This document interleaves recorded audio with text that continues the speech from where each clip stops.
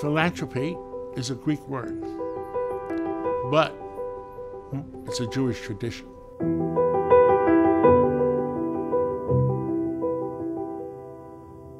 My father believed in education.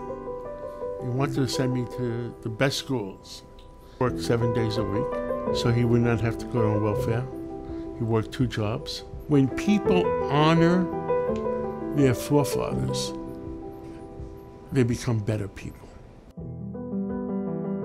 My father cares deeply about the community in which he operates in and in which he doesn't operate. He's really a citizen of the world, a citizen of the city, a citizen of the country. He has always instilled in us the importance of working hard, working for your family, growing a business, and also giving back to the community. This is a man who's not interested in riches for riches' sake. He's interested in about giving back to the community and building bridges amongst the various communities.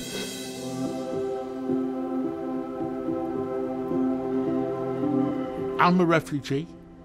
I came over from Greece. I've met many, many Russians coming over.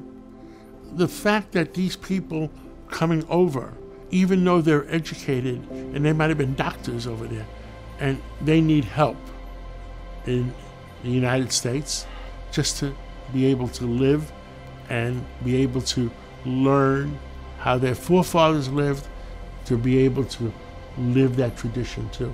I like when I met with the rabbi what Chamah was doing, being able to teach respect of their community and their forefathers.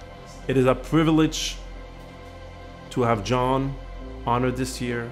These are people that for the past 40 years have brought positive impact in all communities and are committed to help New York and help the world with their humanitarian accomplishment. And thank you for all you have done for Chamah and for all you do for our support with the Holocaust survivors and giving them the last years to live a dignified life.